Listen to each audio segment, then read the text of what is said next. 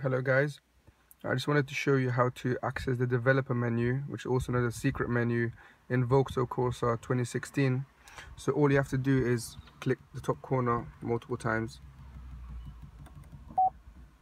Oops.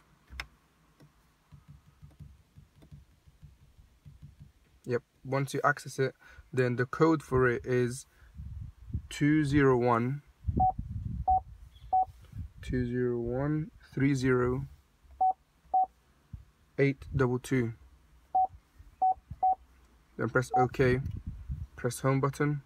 Go to your settings. Scroll all the way to the bottom. Bam.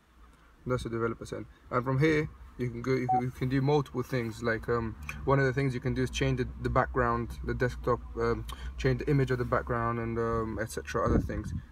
Um, I hope it helped